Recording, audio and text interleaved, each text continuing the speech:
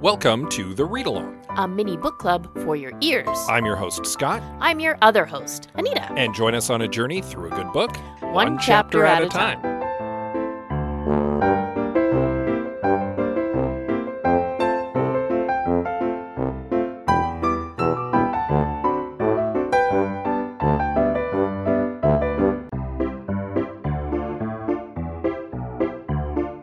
Do you like talking about movies? Do you like talking about mediocre movies? Do you like talking about how you could have fixed mediocre movies?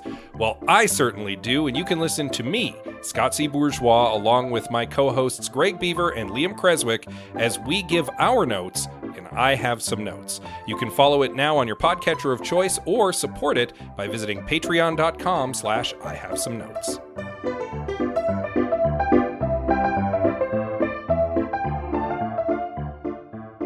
So when this episode comes out, Christmas will be done. Uh, yes. We'll have done all of the running around and seen all the family and Eaten all of the things. and uh, kept the kids hopefully relatively preoccupied for a week at With home. presents. yeah, and stuff and activities. Yeah. No snow. No, Makes it's, me sad. It's not going to be a, a terribly white Christmas for us this year. No, our forecast does not include a lot of precipitation No, it's been and of any kind. Famously, we talk about the weather a lot, um, and it's been uh, a while since we have. But we've had an incredibly mild winter so far. I realize that winter only technically just started, but like well, winter, calendar wise, but yeah, like usually by November we're into snow where we live. Um, it gets usually pretty deep by December or January.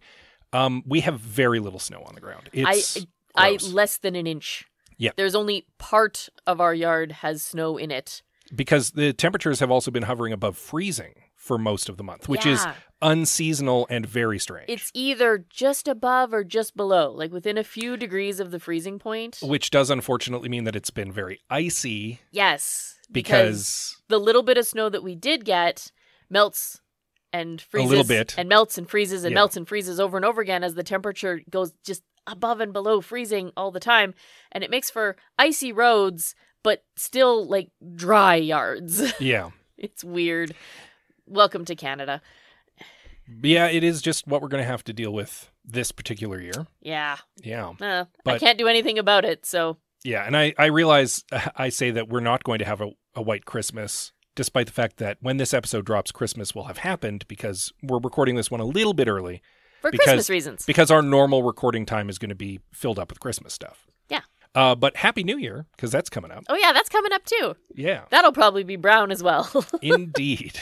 but it's all good because it's New Year's. It'll be fine. It'll be fine.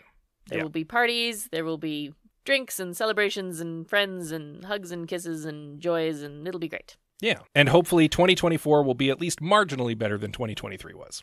It's already looking up.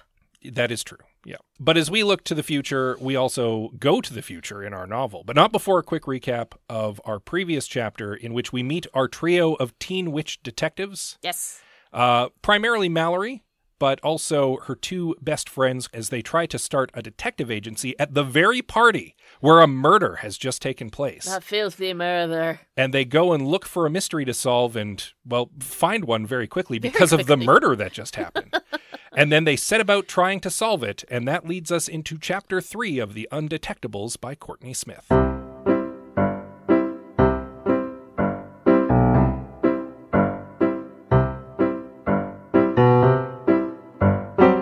Friends, the Undetectables did not solve Theodore's murder.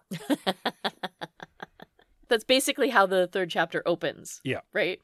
With uh if a narrator were narrating this, this is what that narrator would say. And Ron Howard was playing in my head. was Ron Howard playing in your head? Eh, Not really. Because he was absolutely playing in my head. Ron Howard is not the uh, voice in my head when I'm reading generally. So, no, but whenever anyone says narrator voice, yeah, it is immediately Ron Howard because of Arrested Development. because of get it. Arrested Development. He has a very good narrator voice. right? yeah, we are now six years in the future. Well, we are now six years from our first two chapters, which I believe is what we consider the present. Yeah, technically we're like five and change because uh, we are pre Samhain. By In- like nine days or something like that. yeah, and and Mallory is now 20 years old. Yes. there has not been a, a, a successful murder solve. The Undetectables are not a detective agency at this time. No, Things have not gone to plan. not even a little bit. no. Mallory, unfortunately, was diagnosed with fibromyalgia, Yes. which leaves her exhausted and in pain most of the time. Yes. Cornelia became freakishly obsessed with entomology to the point that she left high school over it and like tunnel visioned herself into that field. Diana got swept up into the world of prop making and wants to work in television. hmm Girl after my own heart. And yeah, here we are 6 years later. All these girls are all now in their early 20s at least, and their life paths are all forking apart. And poor Mallory can't move on. There's also another character who can't move on. Yeah, yes, she is stuck with Theodore. Yeah, Theodore is now her best friend. He is her ghost gay best friend. Kinda, yeah. Yeah. He's like always around. He's and apparently he still has his job despite being dead. I don't know how that works. I kind of hope they explain it a little bit. Well, the Ghoul Council deals with supernatural phenomenon and he's an expert in like spectral manifestations. And now he is a spectral manifestation. so th- I guess they just retained him and he's continuing to work with the Ghoul Council in the same capacity just dead. Yeah, I guess so. like it's it's weird. And he gets very dramatic. He is hundred percent her gay best friend. Well, as she puts it, he has two uh modes, dramatic and overly dramatic. He is like an over stereotypical gay best friend. Yes.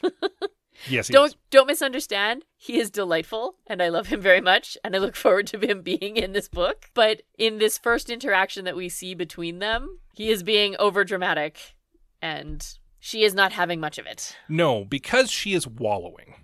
Oh, thousand percent. Yeah, Mallory has not had a good couple of years. And rather than try to do anything about it, she has basically, from the sounds of it, been spinning her wheels for a couple years Yeah. now. She feels really, really Sorry stuck. for herself. Yeah, sorry for herself, stuck where she is. She is wallowing, like edging into despair. And she's strangely resentful of the fact that her friends have moved on with their lives rather than just wallow with her. Kind of. Like it's humans are complicated. She's proud that they've gone on to accomplish things and pursue their lives, but she's also resentful of that fact because they've been able to do it and she hasn't. It's a it's a fun mix of envy and resentment and Pride. and self pity and, And definitely pride. self definitely self-pity. Humans are complicated creatures. You're right. Yeah. Now I did a little searching, a little bit of a cursory look into our author a little bit to see if this is Courtney Smyth writing what they know. And yes, it is. Kinda. From what I've managed to turn up, I don't know that Courtney Smyth has fibromyalgia, but they are chronically ill.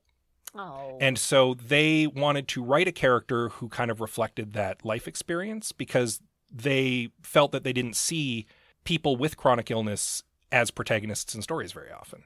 fair enough. So this was this was a very deliberate choice. Now again, I don't know 100% if Courtney Smyth has or does not have fibromyalgia specifically, but that was the choice made for Mallory here. Yeah. Um, I also did a little bit of looking into fibromyalgia. Okay. And I can tell you pretty reasonably that uh, Mallory has spent the last couple years not helping herself. It doesn't sound like it. No, there is no cure for fibromyalgia, Correct. but there are treatments. There is ways to mitigate the pain and to help yourself learn to function in spite of the illness and not let it kind of dominate your life. And from what we read in this chapter, that has not been Mallory's case. Okay, so either Mallory has not been presented with that option, which is possible, and I want to touch on that. yeah, which is possible, or they are like actively rejecting it for some reason. Because she's feeling sorry for herself. Yes, I when you're when you're depressed and in despair, sometimes it's hard to help yourself. that's very true. And I'm I'm sympathetic, but at some point you also have to go, but you're also not doing anything to help yourself. And I can't help but wonder if that's one of the reasons why Diana and Cornelia haven't been talking to her as much. Because it's hard to be around someone who's just wallowing. I know. I get yeah. Even It's- if you it's even if you love them to pieces, it's hard to be with people you love when they're not doing anything to help themselves. right? And there's only so much you can do to help someone, Yeah. right? You can care for someone to a point. Yeah. You know? Yeah, I get it. You can I be get it. you can be sympathetic and still be like, you, you gotta actually get up off the couch, girl. Like reading reading this chapter was really interesting because it provided both like an inside look Mhm. and gave me the opportunity to come in with an outside eye. Yeah. And again, we're we're not people who live with chronic illness. No, And so but we know cer- people who do. or certainly haven't up until this point. There- yes. There's always the possibility that it might happen. Yeah, knockwood. But it does seem like Mallory is letting the fibromyalgia dominate her life Yep. at this point. Now, you did bring up the fact that it's possible she hasn't been presented with positive options that she could look into. Right? That's a possibility because she's coming from this magical world. She had to, by her own admission, go and seek out a non magical doctor to give her this diagnosis and tell her what was wrong. Correct. If she's not regularly dealing with the mundane medical apparatus, it's possible she hasn't been given good options Right? She So- doesn't know that her life could be a lot closer to normal than it currently is. than it currently is. Um, because we don't know how the culture deals with non-magical ailments. Like they might have lycanthropy down pat, it's true. but they might. fibromyalgia, they're just like, I don't even know how to spell that. Like, Well, yeah, like they don't totally fathom electricity, yeah, right? So something as complicated as a condition like fibromyalgia might just be way over heads, yeah, right? Like way, way, way over heads. yeah. So like this could be a, a cultural problem too for her. Yeah, maybe. So I don't want to put it entirely on her shoulders. We don't know all the circumstances, but girl needs to get out. She really does. Yeah, and she kind of rejects the call here because kind of. the real kind of meat of this chapter is she receives a letter, which Theodore hands to her, uh, av- having gotten her mail.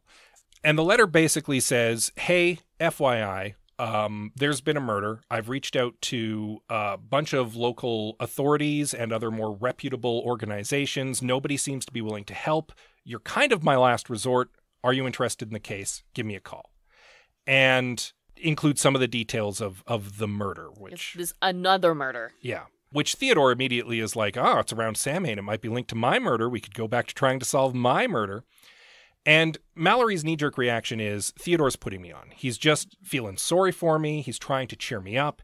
That's why he's like, you should get a hold of the girls, get the gang back together, go try to solve this case and try to solve my case. She kind of snaps at him here Yeah. in her in her despair. she's she's kind of I feel like she's hit a really low point today. Kind of like rock bottom. Kind of. Yeah. It's yeah.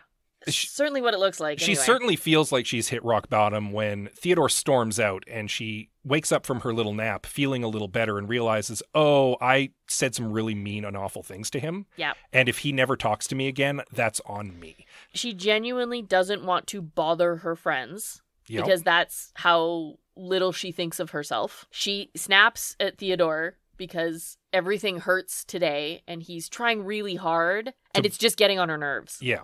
Right? And her nerves are already in pain and it's just worse. So she just Yeah. makes everything awful. Yeah. Not like She puts her foot in it. Act- she really does. in her despair, she puts her Yeah, foot in it. again, no malice, but she does not handle it well. Now, the good news is the call then calls her. well, she gets a call, but not from this person. Not from this person, but from her friends. Yes. Okay. I misunderstood what you were saying. Well, I suspect that her friends call her related to what's going on. So, but I don't know if it is. Maybe. Cornelia calls, and the phone call's a little broken up. It could be bad cell reception. It could be the fact that Theodore is like an electrically charged ghost and may have damaged her electronics. But either way, she only gets part of the message. And from what she can piece together, Cornelia is saying Diana has been murdered. Yes. Come to my house. Yes. And I am happy for this. I'm not happy that Diana's been murdered, which, by the way, I don't think she has. Honestly, I give it 50 50 odds. I don't even think 50 50. Diana's hitting up her ex girlfriends at the back of the book. yeah, but she could be doing it as a ghost. Eh, she doesn't look like a picture of a ghost in the little drawing on the bottom. No, because if they give away a murder right off the top, that spoils everything. I don't think Diana's been murdered. I think that Cornelia's message was adequately broken up. That that's the impression that she's been given. yes. But that is an impression that's enough to get Mallory off the couch. oh, I hope so. If one of her best friends has been murdered in her mind, that's going to give her the push she needs to actually get her butt off the couch to get out the door. And make the great trek up the street to her friend's old house. Yes. So I think that that's the push she needed, honestly. Yeah. Now, it could be innocent. It could be Cornelia's messing with her just to get her out of the house. Maybe? It could be that Theodore immediately went to find Cornelia and was like, we need to do something to get Mallory off the couch. Or that would explain the phone static, actually, if it was on the other end. That's true. Actually, I hadn't even considered that. That was right off the top of my head right now because my initial thought was that there's maybe been a second murder because we know that there's there's a serial killer afoot Yes. and that like suddenly there's all these murders that need solved and they're eventually going to link them together. But it could just be that Theodore went over and was like, "You need to call Mallory and get her over. We need to intervene. There needs to be an intervention." That does sound like something Theodore would do. It absolutely sounds like something. Now that I've said that out loud, I give it like 75% chance. That's what's going on. that Theodore went to Cornelia, Yeah. told her about the letter, and then, okay, let's phone Valerie and get her in here. Yeah. I like it. I hope that's what happens actually. There you go.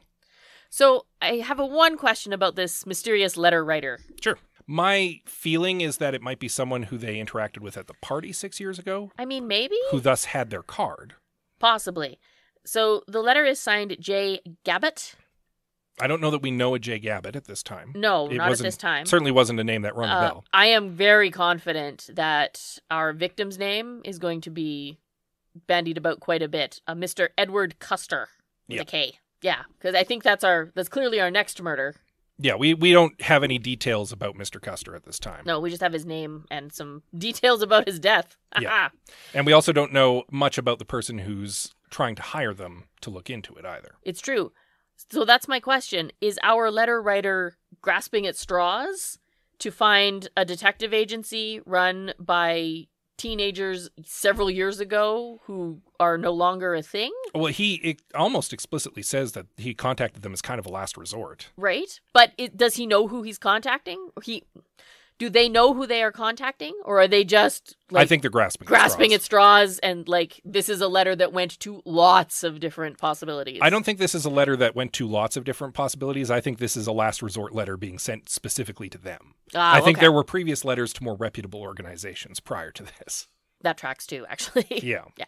So, but I guess maybe we'll find out more as we move into chapter four of our novel, uh, which you'll want to read up in time for next week. In the meantime, of course, you can give us a little rating and review on your podcatcher of choice. We always appreciate those. It'd Yeah. be a lovely Christmas present. Definitely helps out, well, a belated one at this point, Yeah, doesn't matter. but it does help us out. Uh, you can also reach us via social media. Absolutely. We are on X, Instagram, Facebook, uh, Goodreads, and Blue Sky. We are at the read along on most of those. You can find us that way. Yeah, you can also send us an email. Yes, we would love to get one of those. We are the read along at gmail.com. And with that said, as always, we love you very much and we'll see you next time. Happy Christmas and Merry New Year, everybody.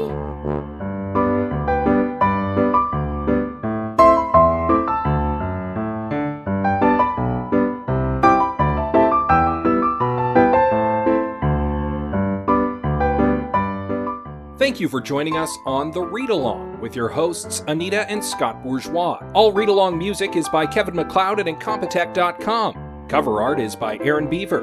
Be sure to join us on Twitter, Instagram, and Facebook at The Read Along and check out our group on Goodreads.com.